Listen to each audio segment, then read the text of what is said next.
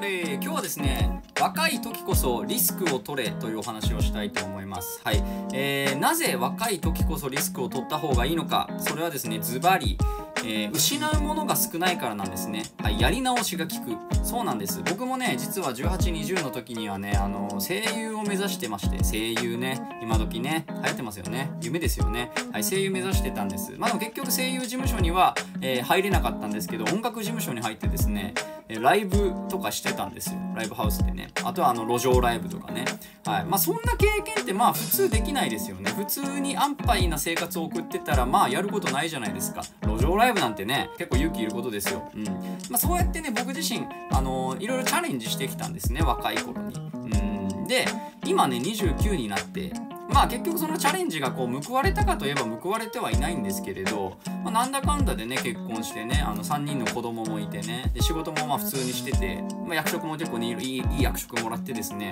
まあまあまあいわゆる普通の生活をしているわけですね。うん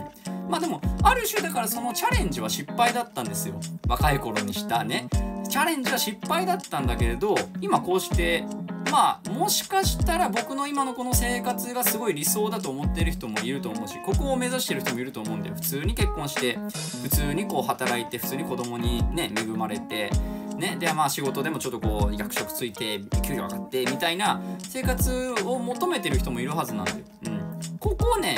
大丈夫。みんな来れるから。ねどんなにつまずいても大丈夫大丈夫。なのであの若い頃に思いっきりチャレンジした方がいいと思います、うん、僕でさえここまで来れてんだから僕でさえこうやってねあのなんつうの普通の生活ができているのであのね高卒っつうかまあ専門卒ですけど声優の専門学校だからね専門卒っつったってあれなんだけども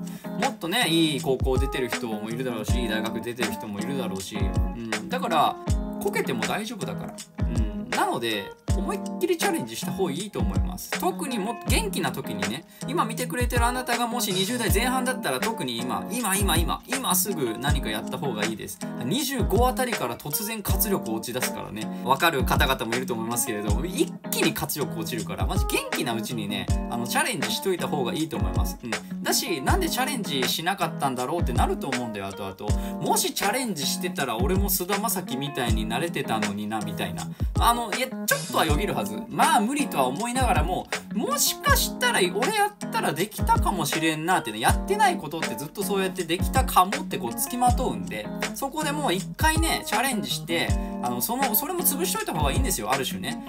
うん。でそのチャレンジ自体もいいものだし実際、うん、俺もだってすごい楽しかったですもん。ねあの路上ライブしたりなんだりって。まあまあ全然なんだろう。報われないしお金もなかったけどすごい楽しかったし、まあ、今でもその会社でねなんかこう人前で喋る時とかなんかいろいろ任されますもんね。やっぱりその路上ライブの経験が生きてというか。はいはい。なので、うん、あの無駄にはならないしこけてもどうせやり直せる、うん、でちゃんとあの恐れてるかもしれないけどこの普通の生活っていうのは遅れるから。なのでチャレンジしてください。ってことでした。お疲れでした。